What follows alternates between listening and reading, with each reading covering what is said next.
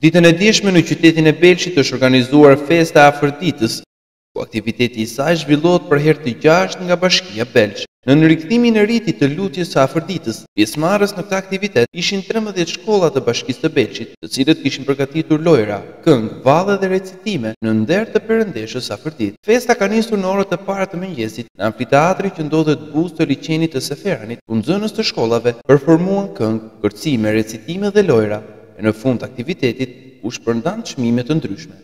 Në mbrëmje, Bashkia Belsh ka mbyllur aktivitetin e saj në nder të Perëndeshës Afërdit me një koncert në pedonalen e Belshit me të ftuar special të mbrëmjes Alban Skënderaj. Atëherë më në fund festa e Afërditës përfundoi. Natyrisht zgjati pak, pasi dhe Albani u fut edhe mbajti rreth 45 minuta. Për mua ishte një kënaqësi shumë e madhe për organ- që kam bërë organizimin e këtij aktiviteti dhe vazhdoj ta bëj çdo vit.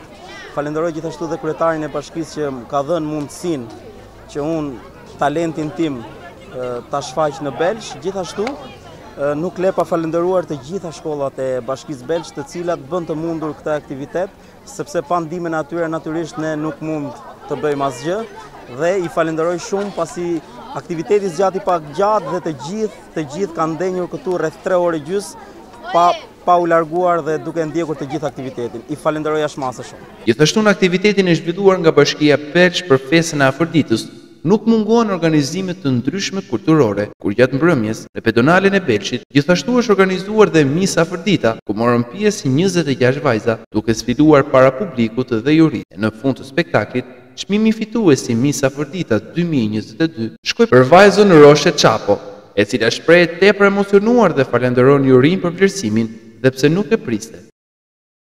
Ndihem shumë e emocionuar sepse aty kishte vajza akoma dhe më të bukura, por i falënderoj jurinë dhe Krenar Korçën për këtë organizatë të bukur. Jo, nuk e prisja, me thënë të drejtën. Aktiviteti i festës së Afërditës u ndoq me plot emocion nga qytetarët e Belshit, por jo vetëm, pasi shumë vizitorë nga qytete të tjera mbërritën ditën e djeshme në qytetin e Belshit festuar festën e Afërditës.